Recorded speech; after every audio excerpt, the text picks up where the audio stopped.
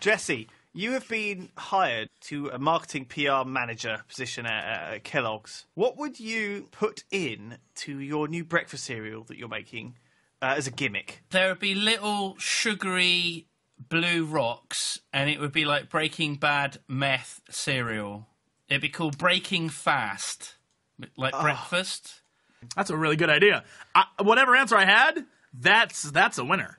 I'm stealing that. I'm going. That's a fantastic idea. Here's the thing, though. I want to go out on a limb and say meth bad for cereal. It's not because meth is bad for you. It's because meth doesn't mix well with milk. I think it would get soggy. Meth No one wants soggy meth. turns the nothing's milk better than- methy. Yeah. Oh, there's like a there's a weird aftertaste.